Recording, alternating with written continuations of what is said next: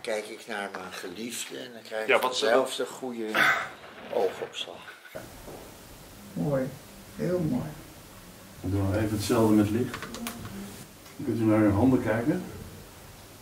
Over mij buigt als, omdat jij toch degene bent die eh, acht jaar jonger is dan ik. Dus,